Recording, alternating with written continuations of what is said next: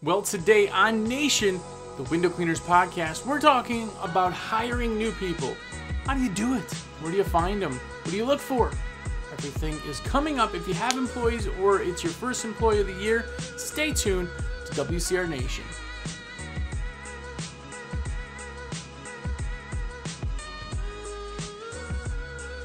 What's up, everybody? Jersey here from WCRWindowCleaner.com, and you are here. What's going on? Hey, thanks for hanging out with me. If it's your first time, have a look around. Hopefully, it doesn't suck. At least better than a cat video, maybe. Uh, but there is 140 plus episodes, all coming out every single Friday, all 30 minutes or longer. So go binge away. If you're binging, let me know. Uh, my number is 862 312 2026. Uh, every week, I get multiple people that just like, ah, I'm on, I just did 60 episodes this week. Super awesome. So definitely uh, keep that up. Uh, if you're not new here, thanks for coming back and hanging out some more. Uh, I really do appreciate it. And if you are one of the elite, one of the cool kids, somebody who watches every episode, you thumbs up the YouTube video, you've left uh, comments, and most importantly, you buy your supplies through me because I am a sales rep at windowcleaner.com, then what's up? It's because of you that Sean Herring says I get some brand name sour cream. Thank you. Actually, it doesn't cost you any extra to have me put your orders in. It's just like a virtual high five of awesomeness. I want all of you to be my customers. So definitely do that. 862 312 2026. Now is the time of year that we're all getting ready for uh, the year. So supplies, big or small, it doesn't matter. I just want to put every order in. People even go overnight, put everything in their cart, and then they're like, yo, Jersey, put my order in. And uh, at the end of this episode, I'm going to give you a code for 5% off your entire order for reals. So, uh, but you got to order through me. So 862 312 2026. Okay. So I got a bunch of uh, what's up to say today. First off, I want to stay, start by saying what's up to Chris Williams, and uh, hopefully this will impress his wife. He doesn't think so, but maybe. Uh, what's up to Chris? What's up, Anthony Cox, uh, Ray Connor, Tyler Weaver, the man, uh, Jason Thomas, what's going on? Uh, Bill Majeski, what's up, brother? And uh, of course, we already brought up Sean Herring for his sour cream. Thank you for the sour cream, friend. but thanks to everybody. I know I can't give everybody shouts out, shout outs. Um, I try. Those are just some amazingly awesome people. If you don't know them and you see them out in public, make sure to give them a high five from me. But uh, cool. So today we're talking about hiring. Now, uh, we've touched on hiring before, but it's always a big kind of headache, thorn, whatever you want to call it. It sucks. Hiring sucks. I always say like my next job is going to be like in a coal mine somewhere where all I have to do is worry about my bird dying and I don't have to deal with employees or people. But employees suck. It's just a matter of fact. They're not going to care about things like you do. Um, there's a lot of bad ones out there before you find a good one.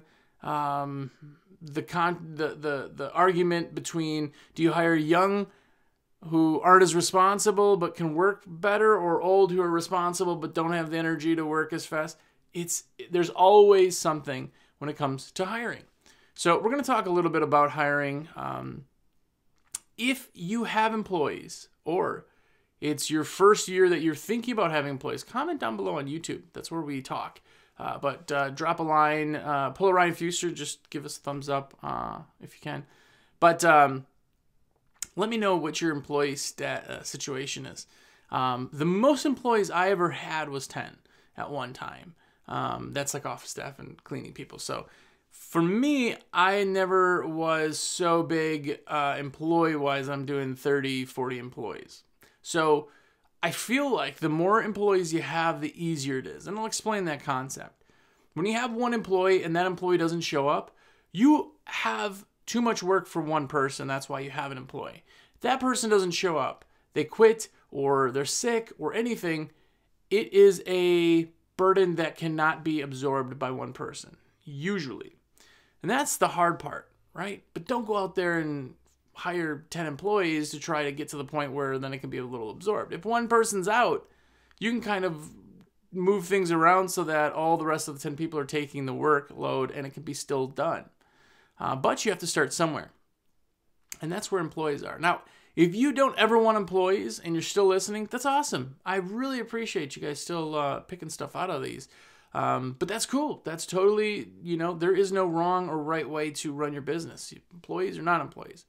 Now, if you ever want to be a big company, you're talking 250,000 a year up to, you know, 6 plus figures, you have to obviously have employees. If your goal is to just stay at that 100, 150 with just you, that's awesome. That's awesome. But employees are a necessary evil to get to those larger numbers. Now, another thing to think about employees is that every dollar the employee earns takes money out of your pocket. So, say you're doing 65 an hour, we'll say. Now, when you're working by yourself, you make 65 an hour. When an employee makes 65 an hour, not only are they not making you the say 15 20 bucks an hour they're making, but now there's all the taxes on top of that. Say that's another $10 an hour for taxes, benefits, all that fun stuff. So now they're at $30 an hour. Now they're also in a truck because they're in their own crew, say, they have their own equipment, they have their own shirts and logos and letters. That's another, say, $5 an hour, right? You see how this is starting to add up. So they're really only bringing you X amount of work uh, or money back into it. You're really only going to make a percentage of what they make. Now, if you're paying on commission, awesome. It's easier to kind of figure out how you're making your money and what you're making. There's a lot that still goes into it. Uh, I had a uh, dude, and I'm just blanking on his name. Oh my gosh. Anyway, a couple weeks ago, bookkeeper. Had a guy on, uh, super cool dude. Uh, we talked about it, and we talked about commission. He loves commission. I am in the hourly side, so there's different ways to do it. No wrong way or right way. Um, but you got to find what works for you. But where do you find new guys? Like, let's start the hiring process. Where do you find people that are your demographic that a truly want to work outside. That's the big thing, right? People always are like, "Oh, what every job interview I've ever done for any employee, and I've hired probably 100 plus hundreds of employees, I would say, in my entire career, right? The one thing that I get in every single one is, "Oh, I just always wanted to work outside. I love working outside." Oh, I just can't work the I can't be stuck in an office, right? But if they've not worked outside, they don't realize. All they do is on a nice day, they're sitting inside and they look outside and they go, man, it'd be nice to work outside. Which happen what? 10 times a year that are perfect. And even then, we still have mosquitoes to deal with and bugs and wasps and we have bushes and thorns and we have scrapes and scratches, heat, sun, clouds, overcast and rain and snow if you're in one of those clients, climates you have a lot to deal with. So working outside is not kind of as glorious as people think, but you have to find the right person. Now, you can't go to Harvard or Yale and put up a sign saying looking for window cleaners because those people are on a different path. They're looking for a different job. So you have to find where people are that you would pull employees from. There's a couple really good places. I love posting at tech colleges. Uh, you know, when you have a community college, usually they have uh, degrees and things that they're working for. They're all over the place, but you may find somebody who's going to be a mechanic. You may find somebody who is going to be, you know, a, uh, a, painter or a, you know, all the trades that you kind of get through on the community college side of things. I have a degree in radio broadcasting. There you go. I guess it kind of works. Anyway, uh, so you're finding people all over the spectrum. So posting things when people are still in school, uh, they have summer jobs, they have internet classes. When they graduate, they're not necessarily getting a job right out of the gate. You know, they may know what they want to work at, but don't have that particular job. It's a great option. Uh, another great option is going to be like um, military installations where um, you have, um, uh, gosh, I'm just having one of those days where I can't remember anything. But uh, National Guard, post up there. Those guys are looking for work sometimes. You know that they're hardworking. You know their work ethic is there. Um, you know that working outside in crappy climates isn't going to be a terrible thing for them, right? That's what you're trying to look for. That's where you're looking to say, okay, here's where I post. Here's where I get people. My all time favorite is still going to be Craigslist, though. And it's a double edged sword of suck and awesome because Craigslist is like trolling the ocean with a big net. You're going to catch some stuff, but you got to throw a lot of stuff back. That's Craigslist. There's ways to get around that to make it a little bit more specific, but Craigslist, it's across the board. You can get all different types of people, people who don't even necessarily want your job. They blanket post to everybody. And there's a, a, a hack, if you will, to get around that. But Craigslist, you're going to get a ton, a ton of people. I've hired my best people that I've ever had off of Craigslist. That's my number one place I, I hire is off of Craigslist. The next place that uh, you can hire people that um, I would say is up there because you're going to get awesome people is from your employees. I always ask them, like, guys, you guys know anybody? Anybody need a job? You know, blah, blah, blah. Like, sometimes people want to work with their friends. Even if they don't, I may not put them on the same crew, but if Steve loves what he does, he's going to want his friends to also work there, right? Oh, yeah, I got a dude who just got laid off. You know, you want to give him a chance? Yeah, bring him in. The big thing with hiring is you always have to be hiring. Always be hiring. That's ABH to just screw up the thing. And you have to always be hiring. If you're always hiring, then you're not going to be as far out from the suck. Because here's here's the truth of it as you're posting these resumes where we're talking or posting a job posting, you're still, still weeks away from getting somebody.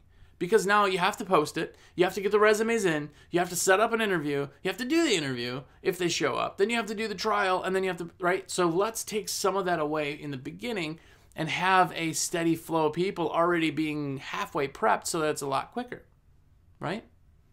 So that's the first step. Get your posting out there. And here is the thing with a posting, if you're boring or you are a jerk or any of that stuff, then you're not going to get a good person. If you put a post and go, I'm looking for people who work, not those sissies who don't work, you don't like it. I need somebody to bust their hump. And if you don't bust your hump, don't even bother applying. Well, guess what? Those people aren't getting anybody. I don't want to work there you sound like an absolute jerk. I don't want to hang out with you. I don't want to work for you. I don't want to do anything. I get your intentions and I understand where the anger comes into play. But be awesome. Be cool. Explain your position, right? You know it's working outside, you know it's window cleaning, but how do you make that kind of snazzy? My posting always, always were looking for someone awesome or looking for a superhero or looking for right get somebody to catch because they got to open it and then i'm going to say we're a window cleaning company. We're looking for somebody awesome who wants to work you know outside and have a great time. We're a relaxed area where we get all work done but have a ton of fun while we do it. Tons of perks. Here's a and i go and talk. I don't talk about the work because you know what window cleaning is. I don't need to explain the work. I don't need to tell you to show up on time. I don't need to tell you any of that. I need to sell you to apply because the better person knows that they're a better person. They can go and hire, uh, apply anywhere. So I put this thing and I sell them. It's awesome to work for us, and I really truly believe that. If you work for me, you are gonna love what you do. I just that's why my turnaround rate is just so stinking low. It's just they love working for me. And that sounds super cocky, but I work really, really, really hard to keep employees. That's the key is keeping employees. It takes so much time to get new ones in. Why not keep them? So I put all that down. And on the bottom of that um, slip or the, the um, uh, request, the, the job posting, if you will, I put in big asterisks, bold letters, uh, when reply with your resume, and the subject line put, I am awesome and I put that big letters on the bottom. I can't miss it. Biggest font I biggest font I can. Because guess what? That's how you uh, screen people who read the, the the thing and didn't. I've gotten people, probably dozens and dozens of people who said, "Hey, the job doesn't sound like something I would like, but I just want to tell you your ad is awesome." I've gotten literally dozens, more than I know, of those. Every time I post it, it's at least one or two that people are like, dude, the, your ad's awesome, even though I'm not, I don't work outside or I'm looking for a management position or something, you know? It catches people. People are looking at it. And then that gets you good customer or good clients coming in. Now, when I get my slew of resumes, which I'm going to get a bunch of emails, right? You're trying to get as many as you are. You're posting everywhere you can, right? If I'm making a paper posting or I'm posting up at a local college or if I'm posting at the uh, uh, National Guard or any of the other services that you can post jobs, I always put I am awesome. Your subject line has to say I am awesome. Now, if I switch that, sometimes it's I'm your superhero or whatever. Something that's out of the norm because guess what? When you get 50 resumes in, 20 of them, if not more, will not say that in the subject line. I delete them and do not look at them. Ever. They could be a great client, but you've already shown me you don't read. You can't follow directions. And all I can do is assume that you're just blanketing and you don't care. I want somebody to care. I want somebody to look at that and go, man, that sounds like something for me. Right?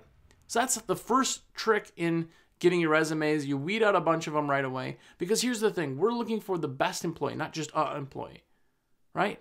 You're looking for a great employee. Now, you may have to hire 10 people to find your one really good employee.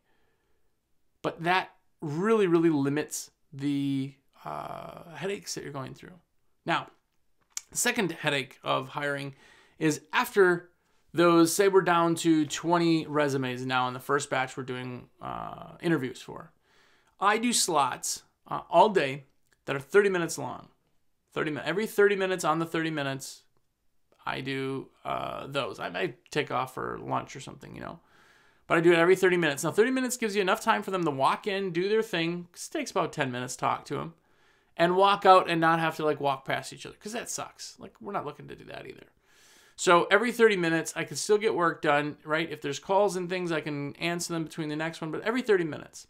The problem is, is that out of those 20 interviews you set up, maybe, maybe five will actually show up to the interview. That's the truth. I don't care how awesome your posting is.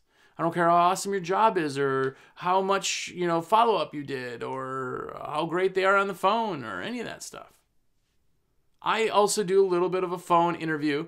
Uh, just ask them a couple quick questions, and if they're interested or they sound like something, if they, uh, yeah, um, so, um, like if that's them on the phone, I'd be like, oh, okay, great. Well, hey, thanks a lot. We're still getting all our resumes in, and we'll call you when we want to set up the appointment uh, to uh, meet or the, the you know, in person interview. Because I'm not gonna. Uh, I'm telling you, you could tell a lot when you do this long enough. And I'm not going to hire that person. You sound slow.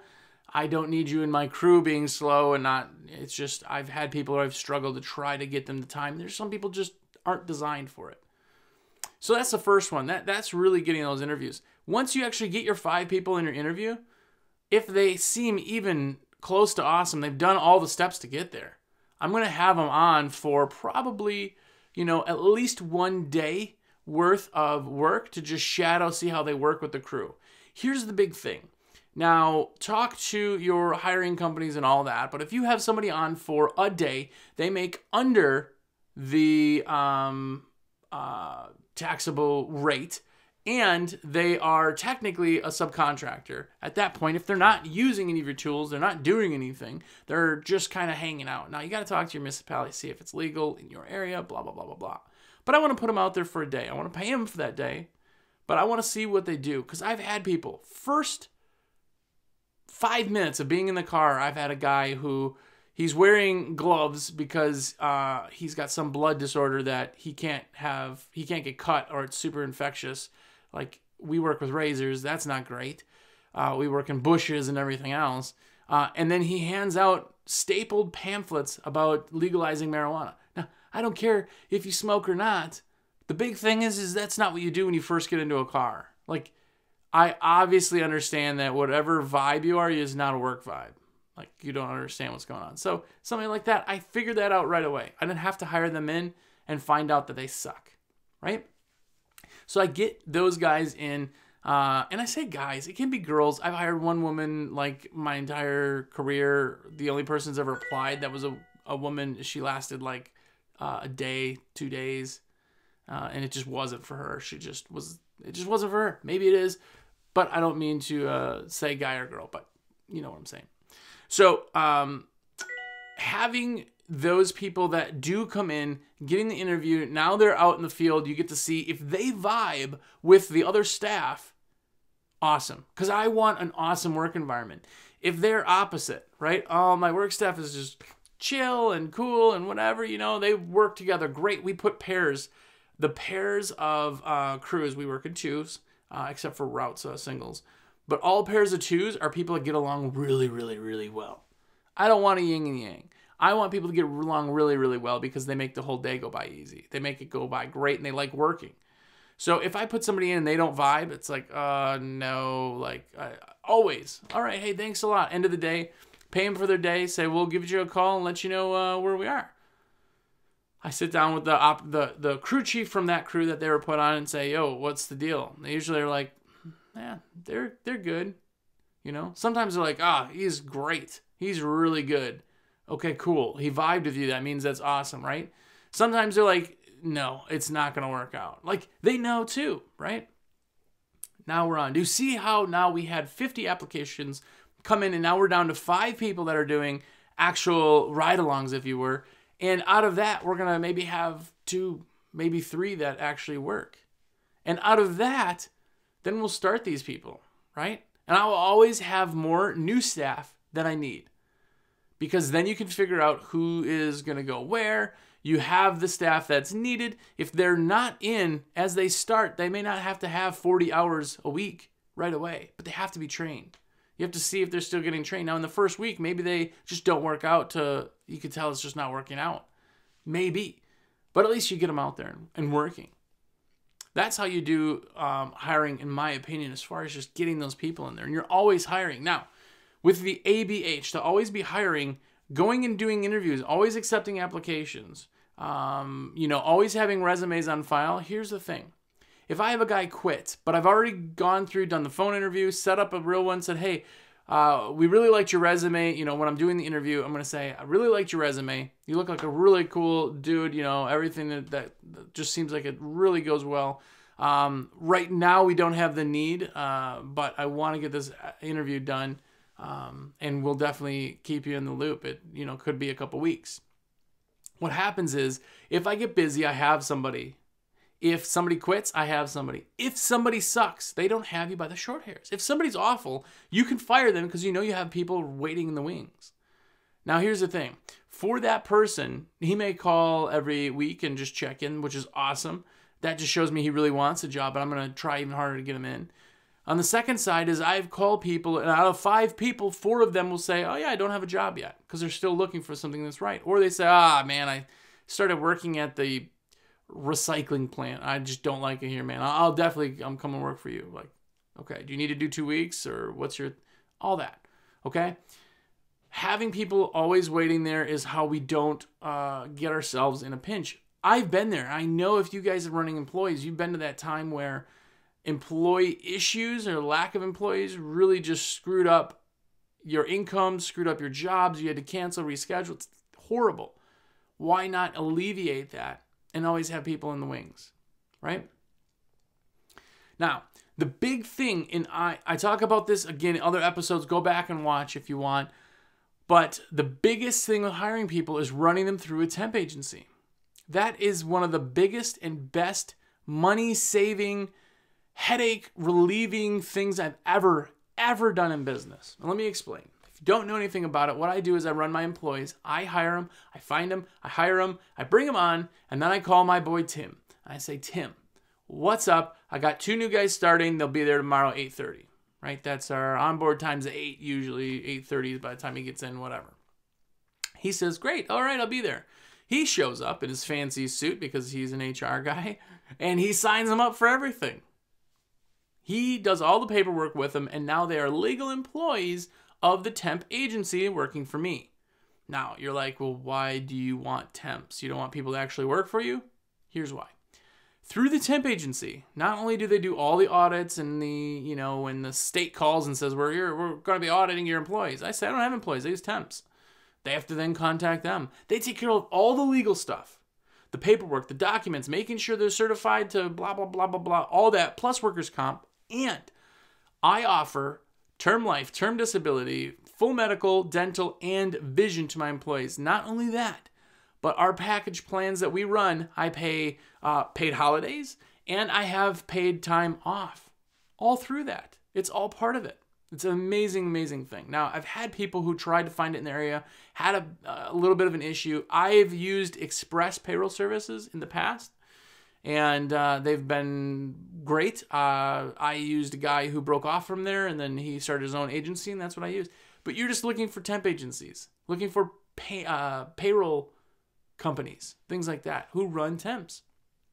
It's amazing. The other thing about it is, is that if I don't like somebody for handing out marijuana advocacy documents in the first five minutes of being there, right? Or whatever it is. You fart in my office. I, I don't know what it is. I don't need to have you there anymore. I can call them and say, hey, you know what? Uh, Ted is not needed anymore. They take care of all the rest. They find him another job. They're not just left out there, and I don't have to work to a specific code or um, uh, employee manual or worry about okay well is this technically do i have to write him up like he's being horrible like i had a guy one time who for whatever reason decided to just blow up like just throwing stuff just ah well technically nothing that he did would have constituted being fired like really in an employee manual you know it didn't say anywhere in there like you can't have a temper tantrum but I was able to just let him go. Like, okay, you've shown your true colors. I don't know what's going on, but I don't need this. I'm sorry I'm ruining your life by having you work here. It just it wasn't a good fit. I got to then alleviate that for any reason because again they're temp employees. Now the other thing is if you're in a cold area, you get uh, seasonal layoff. You can run seasonal layoff, or if somebody does not want layoff, they can actually find seasonal work. So say you in the wintertime slow down and you need to put somebody on a three month, you know, hiatus. Temp agency could put them in a machinery job for three months. It, there's so many benefits, so many benefits. The downside to it is none that I've found so far. None. I'm telling you, I paid 37% uh, on, so that means that every $10, I paid an extra $3.70. You're like, if you don't have employees, you're like, that's a lot. No, no, it's not. Like that's workers' comp. That's my end of the taxes. That's my end of the um, you know uh, uh, benefits. That's all of that. And I have a company where somebody's got a question on their payroll or their insurance or their what. All right, call Tim. Here's his card. They handle it all. For that amount of money, I would 1,000 billion percent be happy, happy to have somebody take all those headaches. So run them through a temp agency. That is the second biggest, I guess, thing with employees. It's one of those days, man. I'm telling you. Uh, the number one thing, though, I think, is keeping them happy. Now, I said this before, but if you don't keep an employee happy, they'll leave.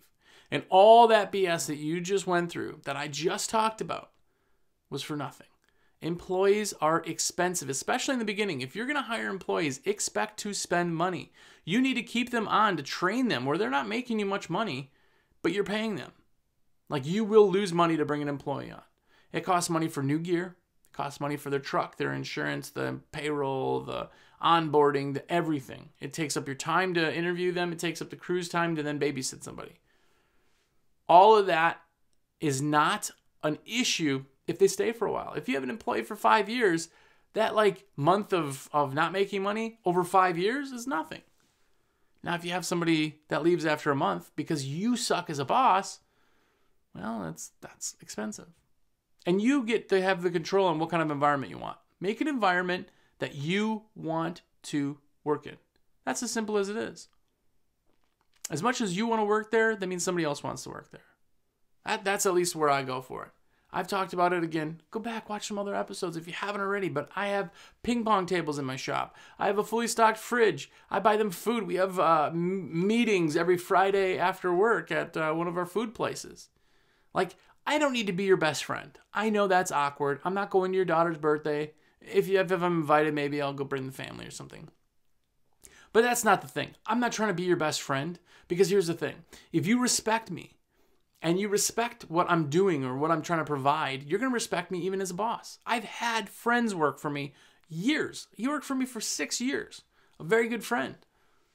And you know what happened? When we were off work, it was work, it was uh, friends. When we were on work and I was like, hey, here's a tooth toothbrush, go clean that tile. He'd be like, all right, cool, it's gonna take me a little bit. Absolutely. Right? They could still respect you if you run an awesome. No one's respecting the guy who put it in the application. I need somebody who works. If you don't work, then you don't go here and no one wants to work for that guy. He sounds like a jerk face. ah, sorry. Well, thanks. If you made it this far in the episode, thanks for listening to me uh, stumble over words. I don't know. I didn't finish my. I didn't drink my coffee yet. I think that's what it is. Either way, thanks for checking it out. Uh, 100%. Um, this exists because you guys are here and watching and listening. The code this week, the reason that I get to live, because you know when I put in your stuff, I get credit for it, and boom, I'm buying name brand stuff. See my eyebrows? You can't see if you're listening. I'm I'm uh, raising my eyebrows in a suggestive way to say, huh, huh. but uh, my number is 862-312-202 oh gosh 862-312-2026 and the code this week is gonna be jerkface yeah what the heck why not Jerk face is the code. All you need to do is just text me or call me or email me or anything and uh, tell me that code, and I will give you 5% off your complete order, a virtual high five, and you will make my day. Plus, hopefully, you're one of the people that I can uh, put on to uh, give a shout out to. So, um, thanks for watching. Thanks for listening. Uh, I really, really genuinely appreciate it, guys. Uh, again, 862-312-2026. Code this week is jerkface. Call me and get your orders in, big or small. I truly don't care. Every order you ever put in, put it in your cart. Then shoot me a text, be like, yo, Jersey, my address is correct. Use the card ending in 1234. The code is jerkface. And I will be extremely happy. So please do that. Uh, and until next week, go out there and be epic.